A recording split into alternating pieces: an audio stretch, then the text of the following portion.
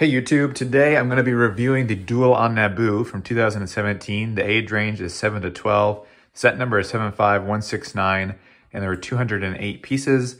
Uh, the set retailed for either 25 or $30 back in 2017. Um, and it was a great set and great way to get these really nice named characters um, in a cheap way. So uh, let's get on to those minifigures now. So here are the three minifigures you get in the set. You get Darth Maul, Obi-Wan in an apprentice kind of version with the uh, Padawan braid, and you get Jedi Knight Qui-Gon Jinn. I'll start over here with Maul. Uh, he's got a double-bladed red lightsaber. Um, he's got that um, relatively uh, old piece now, but uh, the new way of doing the, uh, what is Darth Maul's species called? I forget. But uh, uh, Zabraks, I think. Um, so he's got those Zabrak horn pieces on his head.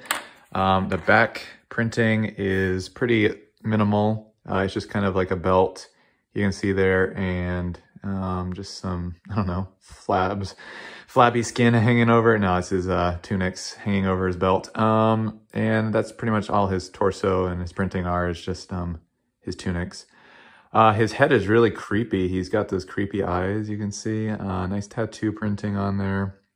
Yellowed out, a little bit yellowed out teeth. Um, in general though, a really good one. Uh, Maul, except for the freaky kind of looking face. Um, next, you got Apprentice Obi-Wan. He's got that nice printed braid there on the front of his torso, his Jedi tunics, really detailed with the belts for all the Jedi characters. Um, he has also back printing there, you can see with his belt pouches, his little metallic printing things on there. He does have an alternate face. Um, well, let's see if I can get it off without taking the head off of him too. Um, here, let's see. There we go. All right, there's his alternate face. He's angry. This is probably like, you know, uh, Maul's just killed a Qui-Gon or has just stabbed Qui-Gon. And now Obi-Wan's enraged and uh, maybe letting a little dark side out there, taking his anger out on Maul. Uh, finally, you have Qui-Gon here. Let me put Obi-Wan's hair back on. Uh, finally, you got Qui-Gon, um, character I always really wanted when I was a kid. I never had a Qui-Gon. Uh, I had some Obi-Wans, but never got this. So I took the opportunity to buy a cheap set to get my Qui-Gon Jinn minifigure added to my collection. He's got that same nice, print, uh, nice printed, nice uh, exclusive hairpiece. I think they only ever use it for Qui-Gon. Uh, they might have used it as for one of those uh, the Force Awakens guys. Um, but uh, nice Jedi, you know, robes again printed on.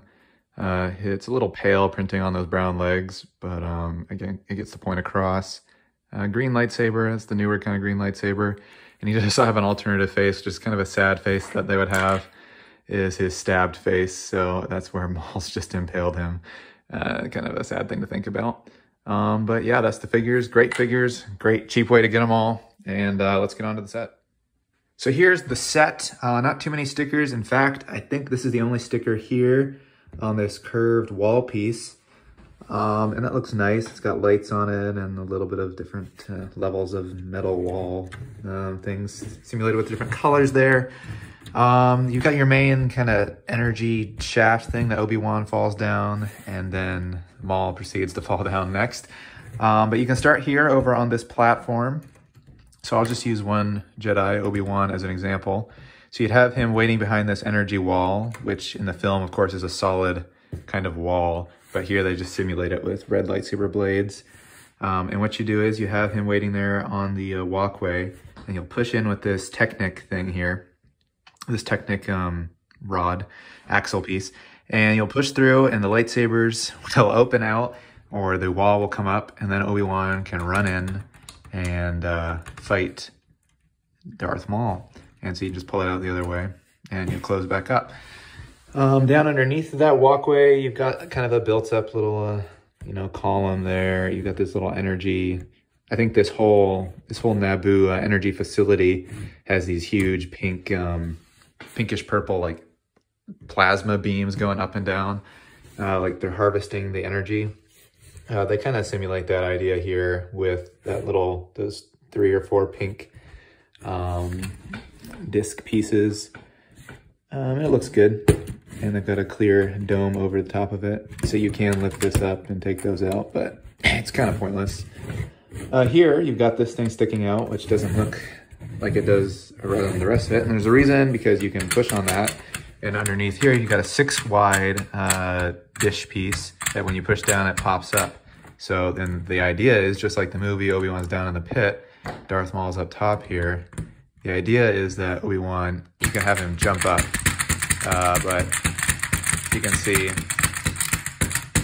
there you go, he's out. So you can just hit that a bunch of times, eventually he'll pop up. Um, you got down there those little red lights simulated on the sides with the red studs.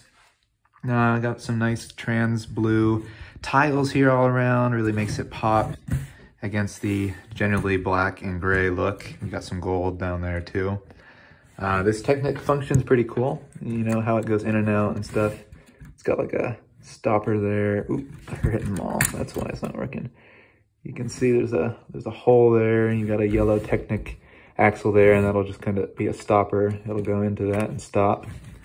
Uh, but yeah, that's really all there is to talk about this set. It's a nice little display piece in a way and a play set um, and a great way to get your um, very classic, desirable The Phantom Menace characters. Um, but yeah, that's the set and uh, there's the box. There's the instruction manual. It's not too thick. Uh, the box is nice. Got that Rogue One box art. Got advertisement for that Force, Master Your Force. I never used that. Never did that thing. Um, but yeah, that's the set. And uh, I'll see you in the next review. Bye.